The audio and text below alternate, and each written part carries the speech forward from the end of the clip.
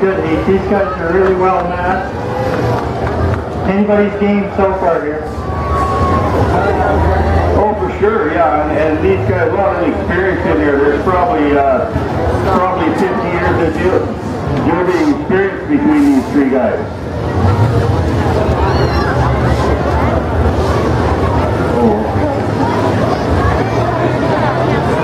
And the heat sponsor, once again, everybody, is John Community Welding Services, Well Service. We're next year. And the trophy sponsors A and B Concrete and New Age Motorsports.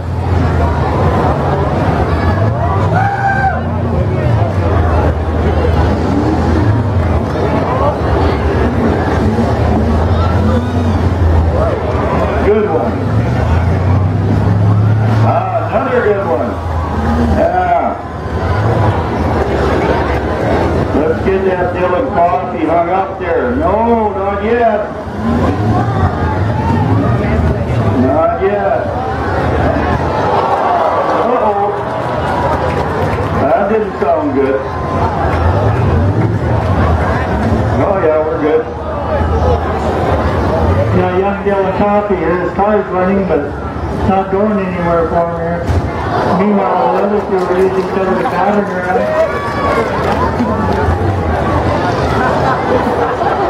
Yeah, got some transmission problems here as well in that number three car. Yeah. Yeah, that burned out. You're right. You can smell it, Gary. I don't think so. I think it's just old here. So cool.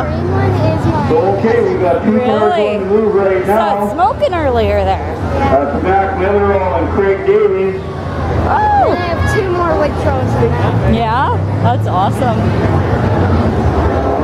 Oh, Here we they're go. good and smashed Oh. up. Just missed Oh. each other. Okay, Star 52 gets the last heat, the last hit.